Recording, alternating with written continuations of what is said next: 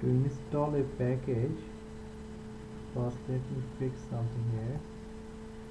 You see the view sidebar open up so the left side is here. So to install a package first first go to view click show console and we'll see the console here. And then we'll go to this side.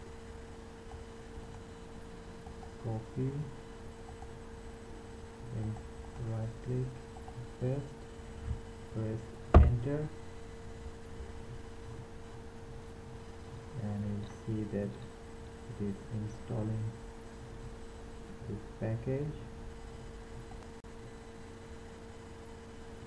So you'll see that this one so I need to close the sublime again.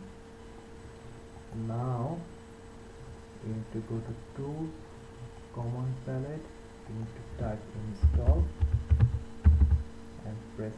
enter and at the bottom we'll see it is loading. And then it may say sublime printer so we install the package. So if you go to properties package control you see the sublime